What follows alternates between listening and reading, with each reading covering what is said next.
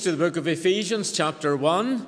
And could I thank the Reverend McKee for his very kind invitation along this week to conduct these Bible studies. I hope you're having a happy Free Presbyterian Day, March the 17th. Some people call it Patrick's Day. We call it Happy Free Presbyterian Day because in 1951, 73 years ago, the first Free Presbyterian congregation was formed. Of course, I do love Patrick's Day as well, but Patrick, as I'm sure you all know, was the apostle to Ulster. There's no evidence he went to the what we now call Southern Ireland. And he taught what the apostles taught and what we preach tonight.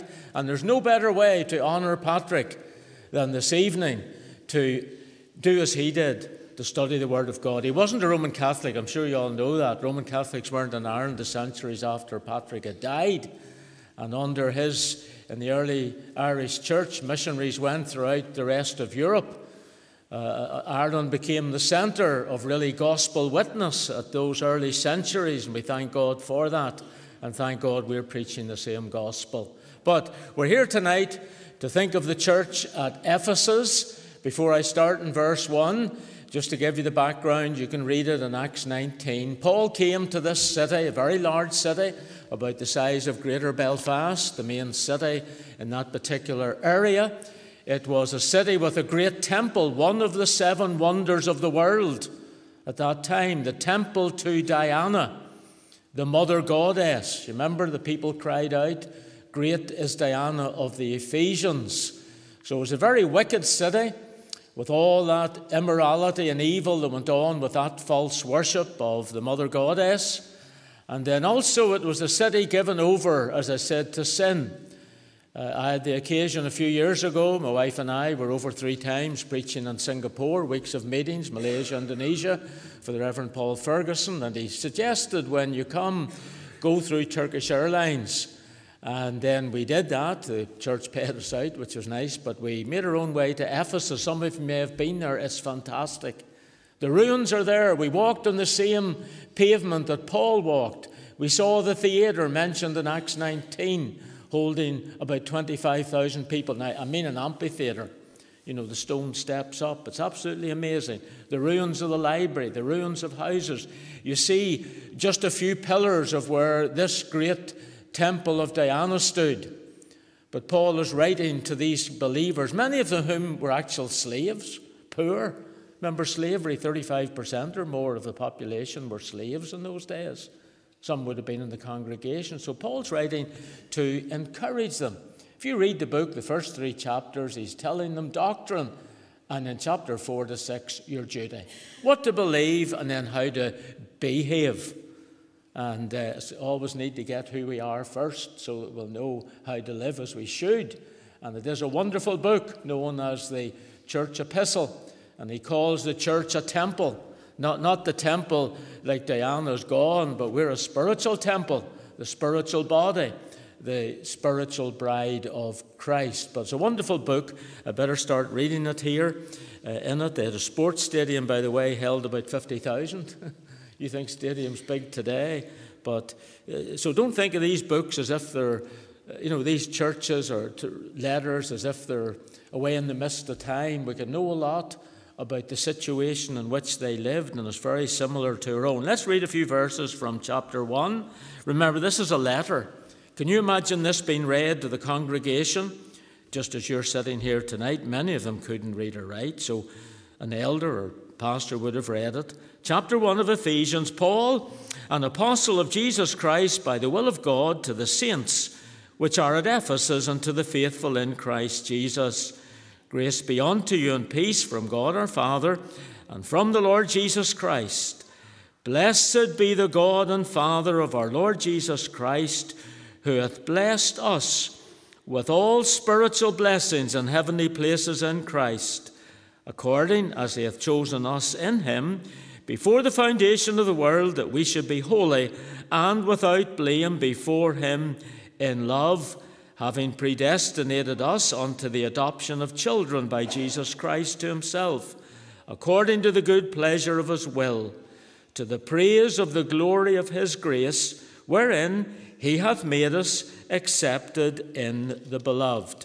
Please turn to the end of chapter 3. This is the end of the doctrinal part on who we are, how we're saved, the grace of God. And so that part of the book is summed up by great doxology, verse 21 of chapter 3. Unto him be glory in the church by Christ Jesus throughout all ages, world without end. Amen.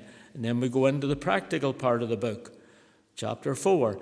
I, therefore, the prisoner of the Lord, beseech you that ye walk worthy of the vocation wherewith ye are called. That's our key verse, chapter 4 and 1. Let's pray with the verse before us. Father in heaven, we thank thee, Lord, that this letter was written by Paul, but inspired by the Holy Spirit, so it's the very Word of God. And we thank Thee it's not only to that early church in Ephesus, but it is to the church in Magherafelt tonight. That this Word is right up to date. We ask, Lord, that Thou would teach us this week. Bless us tonight in this introductory message, for it's in Christ's name we ask it.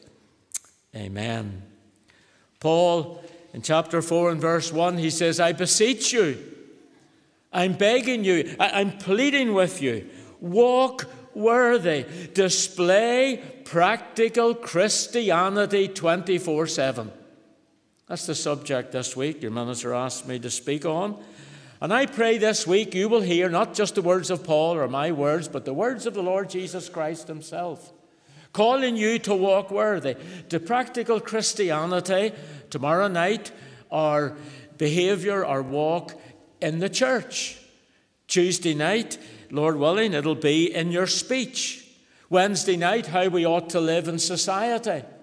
Thursday night, in our families. Friday night, in our own personal lives. How we ought to walk. But an important introductory message tonight.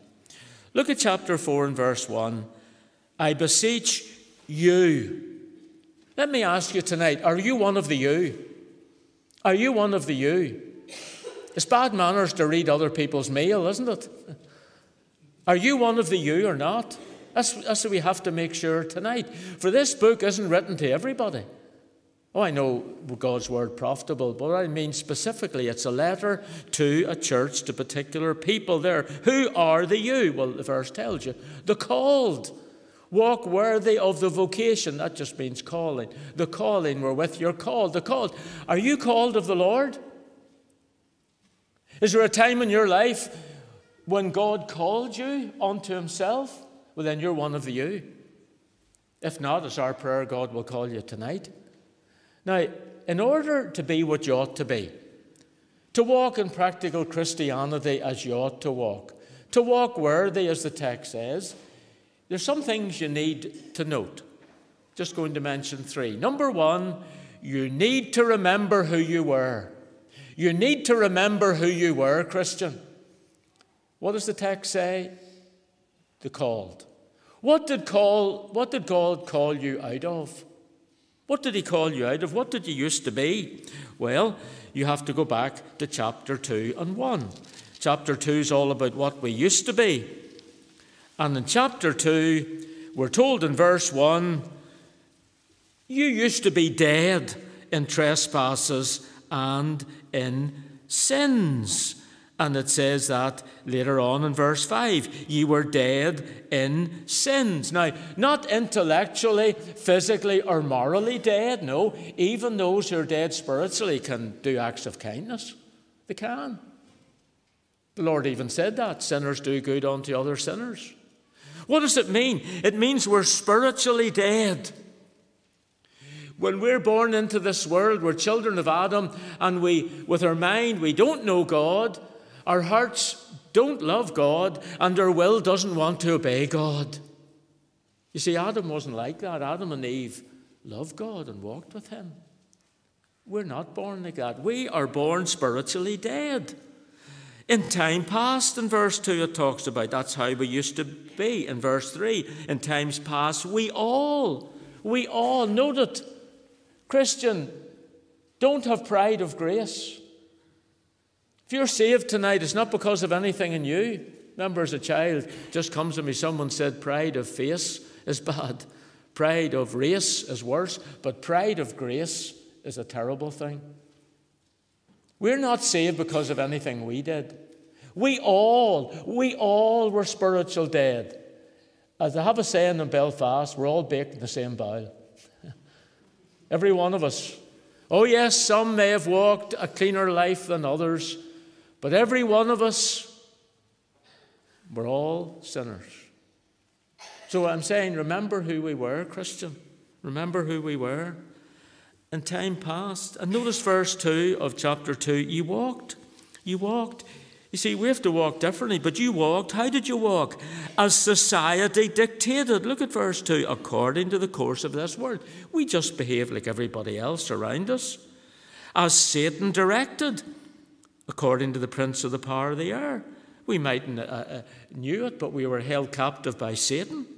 And then in verse 3, uh, it speaks here uh, in verse 3 too about fulfilling the desires of the flesh. What does that mean? We walked as self desired. And that's what sin is. Doesn't necessarily mean gross immorality. But sin is living our life without God. Do you ever say, have you heard people say, Well, I'll do what I want? I'll live as I please. That's sin. That's exactly what sin is. Going on day by day with no thought of God, with no thought of His will, what He would have me do, that's sin. And we were all like that. We were all like that. Verse 2 says, We're children of disobedience. We were disobedient to God's word. I know people say, Well, I'm free to live as I want. Well, you're not. Yes, you're free in one sense. It's like a train on two railway tracks. Yes, it's free to go forward or back, but it's not, it's confined by the tracks. Yes, a sinner without Christ, all we're free to do is sin. We call that total depravity. That's the only freedom we have. Now you think about that. If you're dead spiritually, and we are, there's not a thing we could do to save ourselves. Isn't it sad that you meet people and you say to them, Do you hope to go to heaven? Well, I hope I'll be good enough when I die for God to bring me to heaven. You won't. you can't. Because we're not only sinners, we're dead. We need to be made alive. We're dead. And that means there's nothing you can do tonight to save yourself. But I love verse 5, sorry, verse 4 there, isn't it wonderful? But God, who is rich in mercy, for his great love wherewith he loved us, even when we were dead in sins, hath quickened us. That means made us alive. Remember who you were, Christian. Have you had a time in your life when God made you alive? You got spiritual life. That's what salvation is. It's not turning over a new leaf. God gives you new life. You're born again by the Spirit of God. By grace, you're saved. Repeated in verse 8. So, the you in chapter 4 and verse 1. You're called to walk where? They, who are the you? Those who were dead, just like everybody else, sinners like everybody else, but God has made you alive by His grace. Can you have a testimony like that tonight? Remember who you were. Ah, but secondly, remember who you now are. I should say, recognize who you now are. Do you know who you are? Do you? I'm not just trying to be funny tonight, but do you recognize who you are tonight, Christian? You say, well, uh, my sins are forgiven. Listen, salvation is a lot more than having your sins forgiven. Do you recognize who you are tonight? Well, back to your text, chapter 4 and 1. You're called. You're called out of death, spiritual death. You're called to what? To what? Well, I've three main things to say. Go back to verse 1 of chapter 1. Paul, an apostle of Jesus Christ by the will of God, to the saints not a wonderful word? It occurs nine times in the book. Actually uses a term called to be saints. So The you who are to practice Christ, practical Christianity, I'm asking, are you one of the you? Well, if you're one of the you, yes, you recognize you were a sinner, dead. But then you recognize I'm different. God has done something, He's made me a saint. Now, we'll have to stop there for a minute, sadly, because of the crazy notion the world has, and because of the way the Church of Rome has infected people's minds and other liturgical churches. Saint. So, this letter is to the saints at Ephesus, to the saints in Magherafelt. Are you one of the saints here? What is a saint?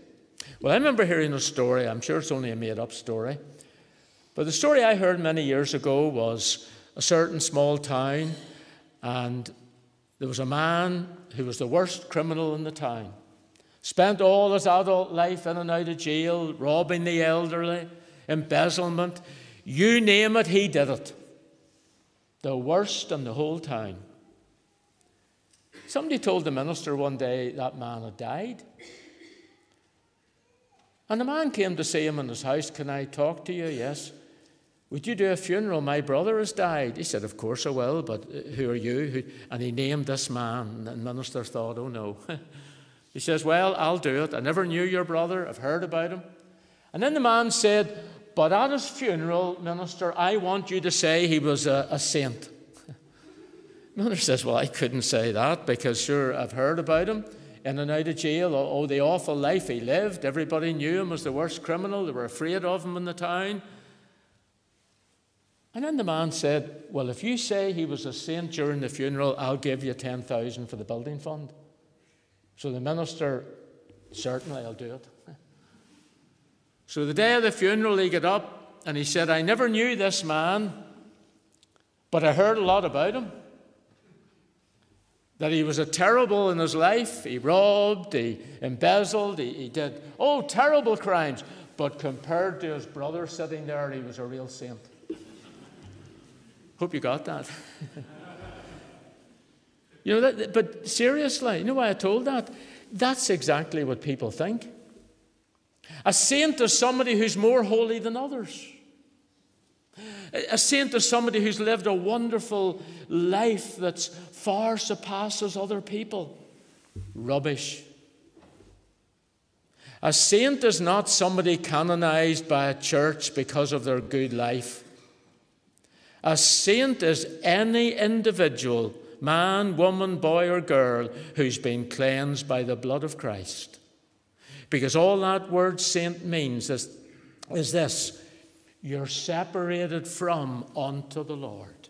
You belong to the Lord. That's what the word saint means. It's related to the word holy. Tonight I'm preaching to the saints in Magherafelt. There's only two classes of people the saints and the ain'ts. All right?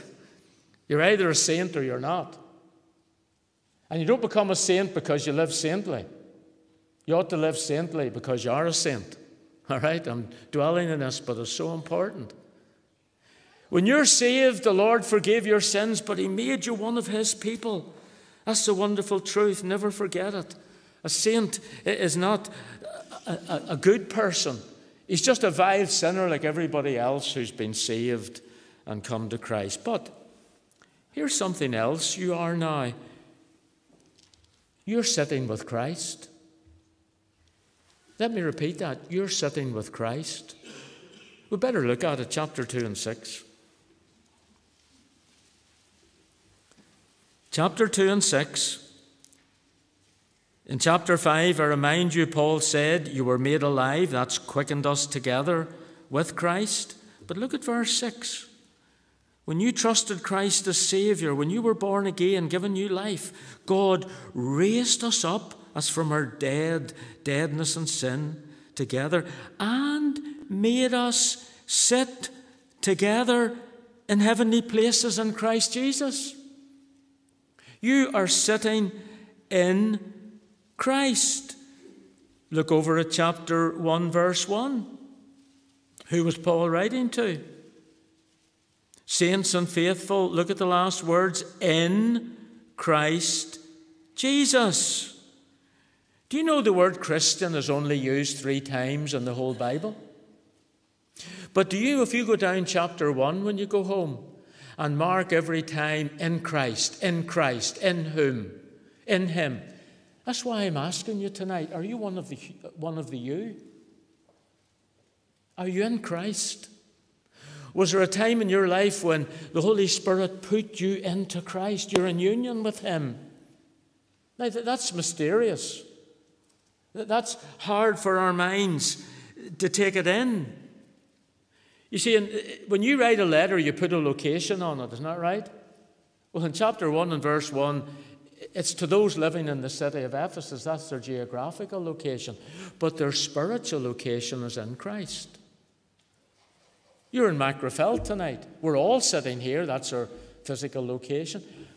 But there are those in this meeting who spiritually are sitting with the Lord Jesus Christ in the heavenlies. Do you know the heavenlies is mentioned all the way through this book if you read it and mark it? Let's just spend a moment or two to try and get this into our minds. Well, what does it mean? You see, you need to know where you sit before you learn to walk, all right? You need to learn to sit before you walk. You see, because you're in Christ sitting with Him, chapter 1, verse 3, look what happens. Chapter 1, verse 3 Blessed be the God and Father of our Lord Jesus Christ, who hath blessed us with all spiritual blessings. Here we've got this term again in the heavenlies, in heavenly places, in Christ. Because you're linked to Christ, because you're sitting with Him, because God, the Father, tonight, before you were saved, you were children of wrath, you were doomed. But because you're in Christ now, God the Father looks at you as in Christ. He sees you as perfect. We know we're sinners, but God sees you as righteous. Why? Because Christ is righteous. And tonight, believer, you are blessed. Isn't this wonderful, verse 3? He's blessed us, not everybody. Yes, God blesses the whole world with rain upon the just and unjust, food, raiment. But this is talking about spiritual blessings. Us, and it's spiritual blessings. Now look at chapter 1, verse 3, Christians. He hath, that's past tense. Notice in verse 3, all. Tonight, Christian, because you're sitting with Christ in the heavenlies, you have already, already been blessed with every spiritual blessing.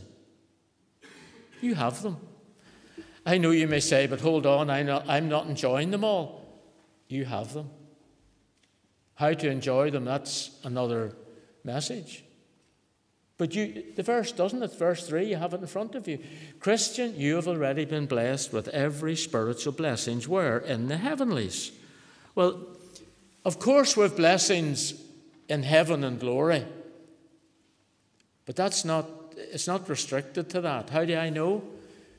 Well, I'll not turn to it, but in chapter 6, Paul wrote, We war even in this life against principalities and powers in high, literally heavenly places. Listen, there'll be no battling in heaven. I'm talking about the future heaven. There'll be no battling when we die and with the Lord's talk. What do the heavenlies mean? Well, what it means is, Christian, when you're saved, you're in the spiritual world. You're with Christ. You're joined to Him. Now, the unsaved don't understand that. All the unsaved can see is material, physical. But when you're saved, you know there's a spiritual. That's not so hard to grasp as there's things in this room you can't see, but you know they're there. There are sound waves going through this speaker system. Can you see them bouncing around the room? No, of course you can't. There's a video signal going out. I can't see the signal, but it's there. Christian, you need to recognize who you are. You're in Christ tonight, and you are already blessed with every spiritual blessing. God has already given them to you, they're yours. You need to grasp that.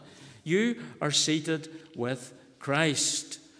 And you understand that. Put it another way Christian, you're a citizen of heaven. This is what it means. You don't just belong to this earth, you're a citizen in heaven.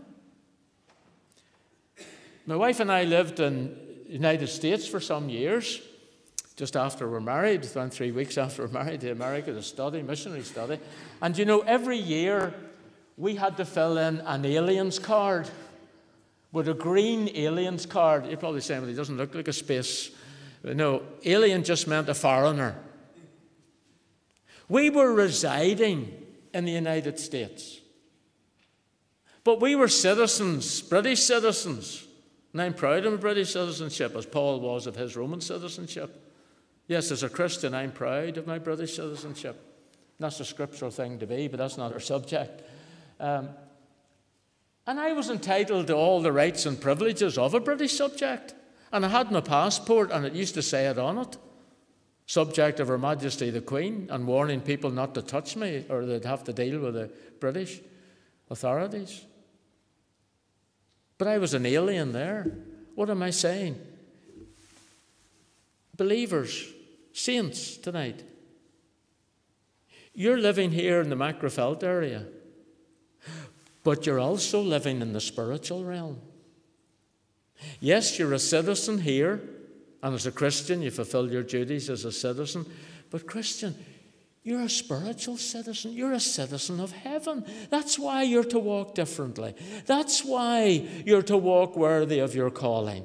That's why you're to practice practical Christianity every day. That's why you're to be different than those around you who are not converted. You're to stand out as different by your behavior because you are different. You're a citizen of heaven.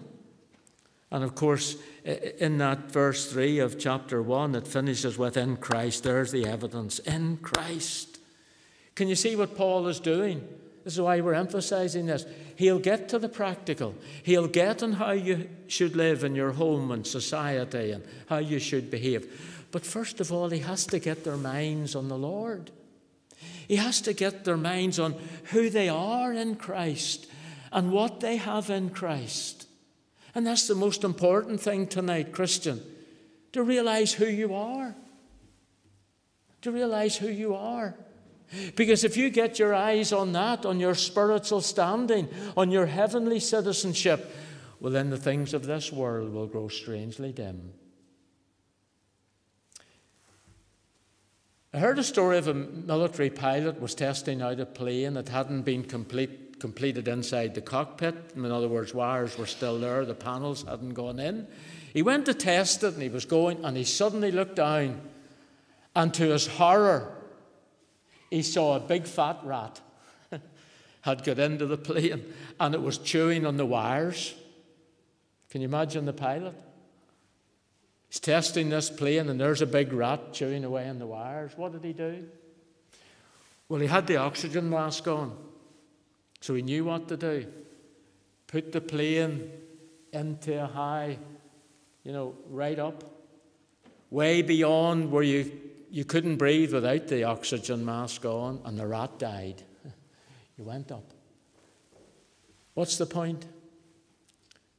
Paul is getting the believers to lift their minds up to see who they are in Christ, to see their blessed God, and then all the sinful pleasures of that great temple of Diana, one of the wonders of the vain world that people would travel miles to see, it would look pathetic to them when they saw what they had in Christ. That's how you overcome sin. Christian, Overcoming sin isn't you trying and you're gritting your teeth, I will try not to get angry this way.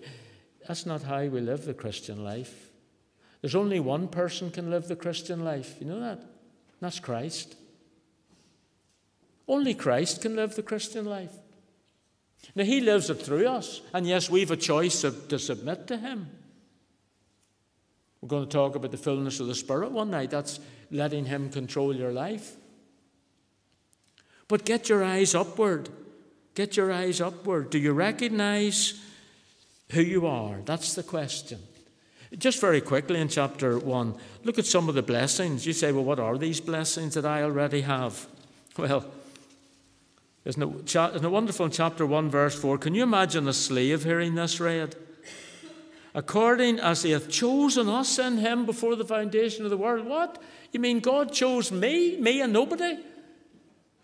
Me who's not important? Yes, Christian, isn't that wonderful? Does that not thrill you every day you get up that God chose you? And he goes on, Oh, I wish I had time for these. And notice he chose you so that you would be holy, so that you would live practical Christian life. And he goes on to talk of wonderful ones here, verse 7, how we're redeemed by his blood. We have forgiveness. Just for time, verse 11, we've a great inheritance. You're rich. You're rich tonight, Christian. I remember doing in the church in ours when I went through Ephesians years ago, I got a lot of boys and girls up to the front, and they're all holding letters spelling Christian. Then we got one of the elders to mix them up. You know, the letters. You know what they spell? The letters of Christian, rich saint. if you're a true Christian tonight, that's what you are. You're a rich saint. There are some of the blessings, but I'll, just stay for a moment in verse 5. Bear, bear with me. We're talking about how rich we are. The adoption of children, verse 5. Do you notice that? Actually, in the original, it's not children, it's sons, because girls could never be adopted. You listening? Girls were never adopted. So, you know, this isn't talking about the adoption that we have today. It's nothing to do with adopting a baby or, a child, which is a great thing, of course. It's not talking about that. Those Ephesian Christians knew we were talking about. Let's just spend a moment to explain it. Adoption was a legal act where a rich person named their heir and successor. And when that legal act, you can imagine a court, it's a legal process. That had to be a man, you know, a young man growing up, not, not a little boy, but he had to reach young adulthood at least. It didn't necessarily have to be a biological son, it could be somebody else. And they were now entitled to use the name. And they were entitled to all the wealth. They shared in all the wealth of the person adopted them. Let me bring it a little bit easier to understand. I love July and August for various reasons. Great months. All right? Get a bit of exercise in July and August. Uh, do you ever think of where, why we call those months that? July, Julius Caesar. You've heard of him, I'm sure. Well, do you know what Julius Caesar did? And these Christians would have known about this. They knew what adoption meant. Julius Caesar sent word for his great nephew, Gaius Octavian, to be brought from the army where he was serving. Now, Julius Caesar had a biological son, but he called for his great nephew to come to Rome. And they went through the legal process of what this word adoption. His name was changed Gaius Julius Caesar Octavius. He got a new name. He was now entitled to all the wealth of Julius Caesar, the ruler. And when Julius Caesar died, he became, and it's in the Bible, Luke chapter 2, Caesar Augustus, August. That's what the month August is named after. Why? Why did he become the great Caesar? Because he was adopted by Julius, July, and shared in his wealth. Well, these believers knew that, but they're sitting there hearing it. God, the Almighty God of heaven, He's adopted you. Our catechism talks about that, of course. Maybe the young people are studying it. What is adoption? You're entitled to all the rights and privileges of the sons of God. That's what it means. You're rich. You're rich. And that's why I can say you share in Christ's everything Christ has. This is who you are, Christian. Do you know tonight you're a saint? You're separated unto the Lord. You're sitting with Christ. That's how God looks upon you and you share in all that Christ is and all that he has. You read later Romans 8 and 15, where Paul uses the same term. He says, You're adopted. And then in verse 17, You're an heir of God and a joint heir with Jesus Christ. Now, we don't do that today in wills, do we? See, a joint heir doesn't mean that child gets so much and that child. No, it means they get it all each. Of course, we know in humans being what they are, wouldn't there be problems? There'd be fights. It all belongs to both of us. Well, the word is used of you, Christian. Isn't this amazing? When you were saved, it doesn't mean God just forgave your sins. Thank God He did. Thank God you'll never be in hell. But you know, you've been raised to this position of sharing all that Christ is and all that He has. And you've already been blessed with these things. I remember one time, it may have been near Christmas, I think it probably was, I got little boxes forgiveness, redemption, access to God, eternal life, and so on. These are wonderful blessings. And then I gathered them all up and I put them in a big cardboard box, closed the lid, turned the lid round. You know what it said on it? The Lord Jesus Christ. See, what it means is, do you ever say as a Christian, I wish I had peace, I wish I had joy, oh, I feel my sin, I wish I had righteousness. You already have them. Say, but I don't feel. It's in Christ. My peace I give unto you, my joy I give unto you. Christ has made unto us righteousness wisdom. Now, we may not be enjoying them through unconfessed sin in our life, through not knowing what we have, through not walking with Him. You see, the problem is you can own something and not know you own it. Maybe you've never been told that you have righteousness in Christ, that He is your righteousness, He is your wisdom, He is your joy. The more you get to know the Lord, the more joy you'll have, as He is our joy. In fact, you know at this moment what Christ is praying for the saints here in Magherafelt? You put your name in here tonight, Christian. You know you're really saved. Do you know what your Savior's praying at this moment? You read John 17. One of the things, Father, I will that they be with me one day where I am, that they may share my glory. But he's also praying, Father, keep them from the evil one. And he's praying, Father, that my joy may be fulfilled in them. Christ is praying tonight, Christian, that you would know his joy in your life. That you would know his joy. So you can own something and not know you have it. You know the story of the man on the boat emigrating from here away over to America, and he managed to pay the fare, little money over, so he got some cheese and some bread. But by the time, a few days in the boat, it got stale. He had no food, he was really hungry, so he went to one of the staff. How much would it be to buy a meal? Just one meal. I'm starving. So the purser, whoever it was, looked at his ticket. Do you not know when you bought the ticket, the meals come with it? you could have had the meals all along. And Christian, that's sometimes like uh, uh, Christians, isn't it? We don't know our blessings and we don't enjoy them. We don't know what I have. I know another problem. You can own something and not enjoy it. I remember reading some years ago of misers. Garbage Mary is one of them. I'll not tell you about her, but Hetty Smith was the, the classic miser in the States. She died in 1916. They say she was so miserly, she only would eat cold porridge. She would heat a batch, but she would never reheat it. Just ate it cold, but she didn't want to spend money on heating the porridge. Her son had a leg infection and she wouldn't pay a doctor. She searched and searched for days until she found a free clinic. And by that time, it was too late to save the son's leg. She lived in abject poverty. And when she died, they discovered she was worth a hundred million. I'm talking way back in 1916. She lived like a pauper. Christian, is that you? Do you know what you have in Christ? Are you enjoying it? Well, how can we live practically as a Christian? Remember, walk worthy. Remember who you were but God called you. Remember what God called you out of.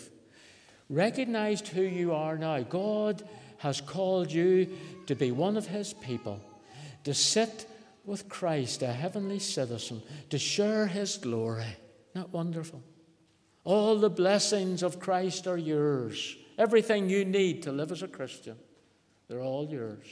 Well, when you remember what you were, Remember who you are in Christ and what you have. Then, back to chapter 4 and 1, you'll respond by being what you are. Isn't that what chapter 4 our text says? I, therefore, the prisoner of the Lord, beseech you, therefore, that uh, I beseech you that you walk worthy of the vocation wherewith you're called. In other words, live up to your calling. You're a rich saint. Live like it. Live like it. I've called you unto myself. Live for me. Live that holy life. You are holy. That's what the word saint means. Now, live like it. Live like it. Remember who you are.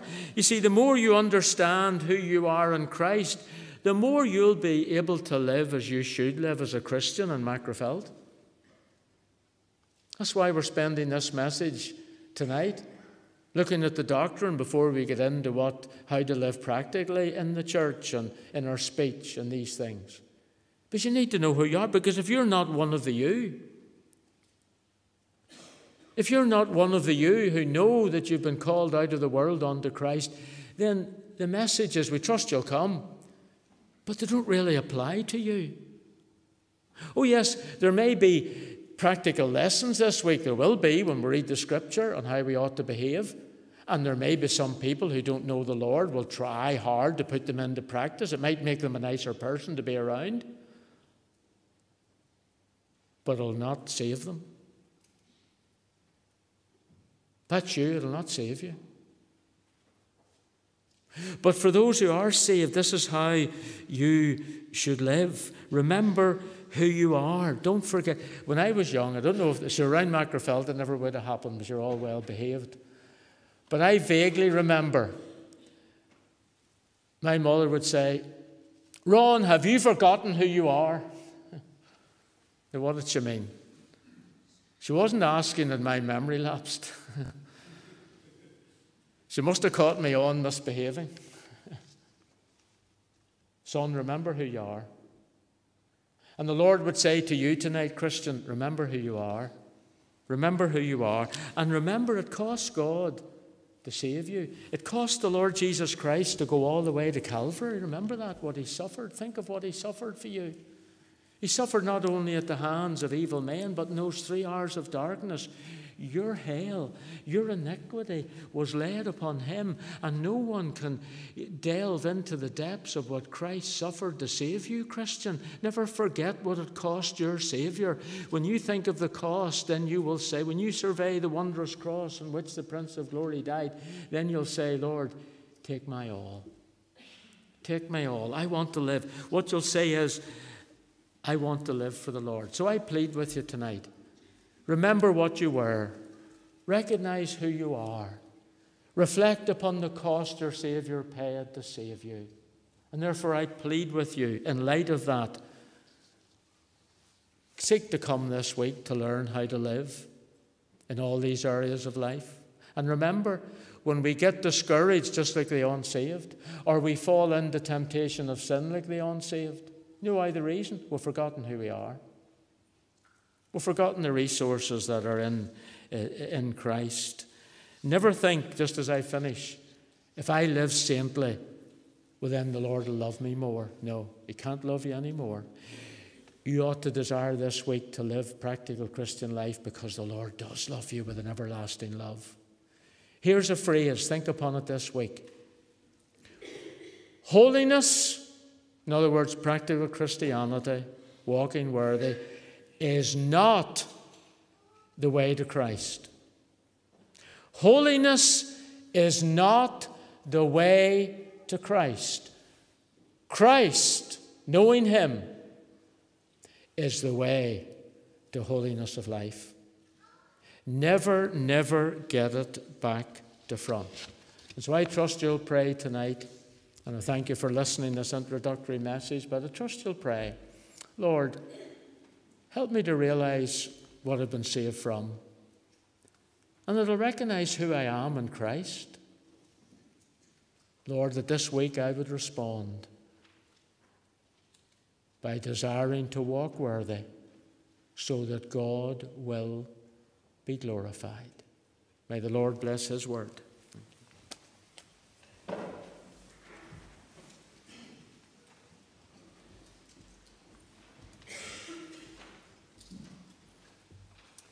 Thank you, brother, for that word tonight, and our hearts have been encouraged. And if you have been challenged tonight as a, an unsaved person in this meeting, and you would like to be saved, well, then we encourage you even now to bow your head and call on the Lord. But if you'd like to know more about what exactly it means to be a Christian or how to trust Christ as Saviour, our brother will be in the hallway after the meeting. Do mention that to him, and he'd be glad to point you to Christ. We're going to sing about our Saviour just in our closing hymn, number 95, Man of Sorrows. What a name! And we have been thinking about what Christ has done, what we have, and who we are in Christ. And surely our response today should be Hallelujah, what a Saviour. So we'll stand together and sing this and then remain standing for prayer.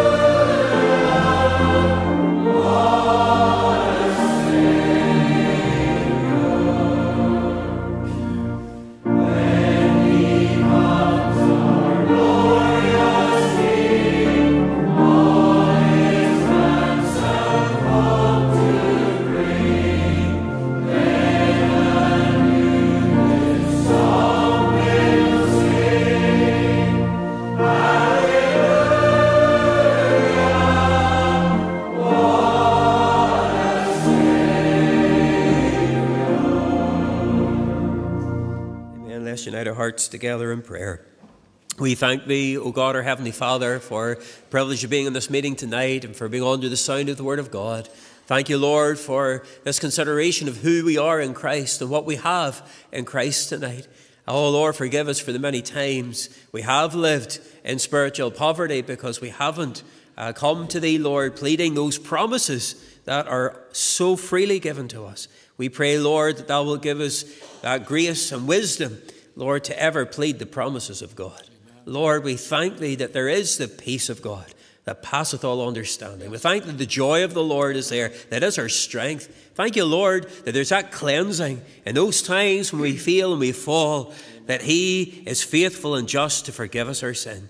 And, oh Lord, so much more. And therefore, we pray tonight that we will leave realizing something more of the privilege of what we have in Christ tonight. Lord, we sing as we have just been singing, Hallelujah. Amen. What a Saviour. Lord, here are we that you would think upon us, but we rejoice, Lord, that you did and gave your Son, shed his blood that we might be saved tonight. We pray for any in this gathering or watching online who are not able to say that they are saints.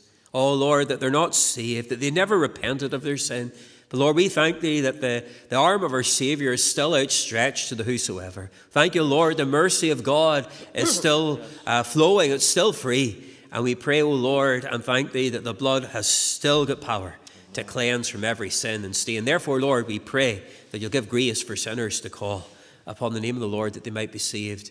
tonight. Bless us, Lord. May the tide rise. We've been blessed tonight, but we long for more. Night after night, may we meet with Christ, even in this word, for we ask it in Jesus' precious and holy name. Amen. Amen.